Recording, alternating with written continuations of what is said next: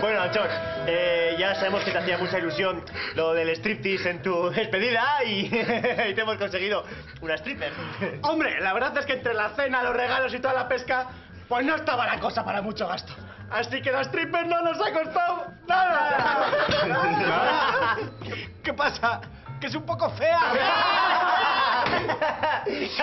no exactamente.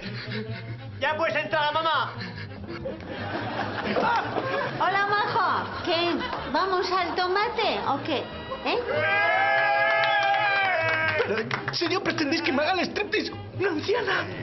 Claro que sí. Y si tú quieres, luego vamos al reservado y tracatrá. ¿Cómo me podéis hacer esto? Vosotros no sois amigos, no sois nada. Oye, oye, oye, no nos vengas con esas, ¿eh? Que bastante pasta nos hemos dejado entre la cena y los putos regalos de la boda.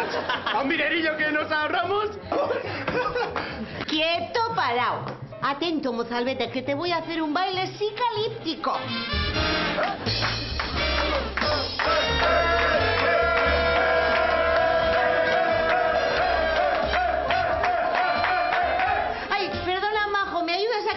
Rebequita que sola no puedo? Ven. ¡Ah, señora! Venga, sube el brazo, guapa. ¡Ay! ¡Ay!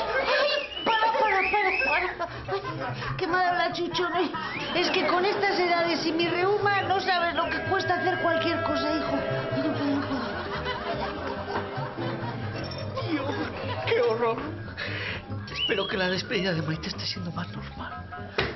Tranquila, hija, que aunque tus amigas estén mal de dinero, te aseguro que no te quedas sin striptease en tu despedida. ¡Fuera pantalones!